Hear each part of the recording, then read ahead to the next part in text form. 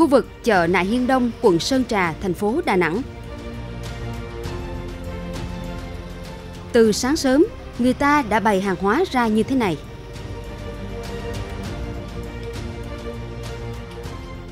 Ngay tại đường Ngô Trí Hòa đi vào chợ, những người bán hàng còn ngang nhiên để xe máy giữa lòng đường, gây khó khăn cho việc đi lại.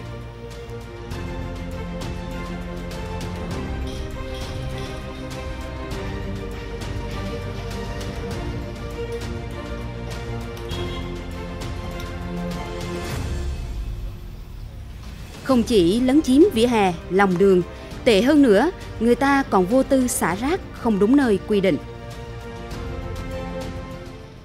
quy tắc đô thị thì cũng có nhưng mà quy tắc đô thị đi thì à, người ta chỉ dẹp vào thôi quy tắc đi là người ta lại chân ra ai đi mà đi buổi chiều buổi trưa thì đi xí sạch sẽ vừa đi xong là dẹp lãng dọn ra lại Có người bán thì có người mua. Vì muốn nhanh nên nhiều người không vào chợ mà thích mua hàng ở ngoài đường. nghĩa là ngoài đường tiện người ta tấp vào người mua không có gửi xe ngoài đường là mặt hàng gì cũng có từ cá tới rau tới hàng gia vị bất cứ mặt hàng gì cũng có nên là khách hàng người ta mua tiền là người ta mua luôn